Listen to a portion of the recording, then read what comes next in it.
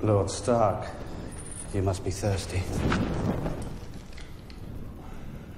Varys. I promise you, it isn't poison.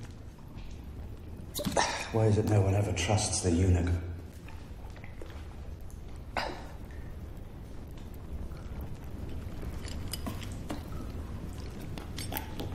Not so much, my lord. I would save the rest if I were you. Hide it. Men have been known to die of thirst in these cells.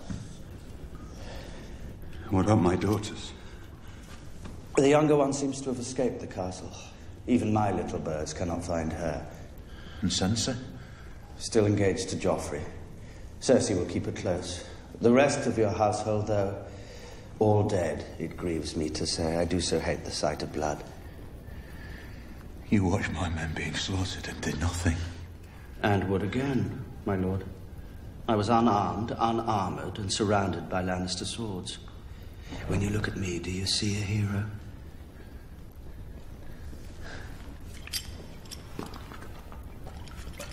What madness led you to tell the Queen you had learned the truth about Joffrey's birth? The madness of mercy. That she might save her children. Ah, the children. It's always the innocents who suffer. It wasn't the wine that killed Robert, nor the boar. The wine slowed him down, and the boar ripped him open. But it was your mercy that killed the king. I trust you know you're a dead man, Lord Eddard.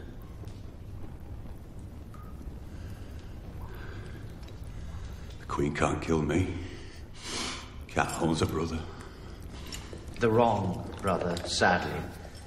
And lost to her. Your wife has let the imp slip through her fingers. If that's true, then slit my throat and be done with it. Not today, my lord.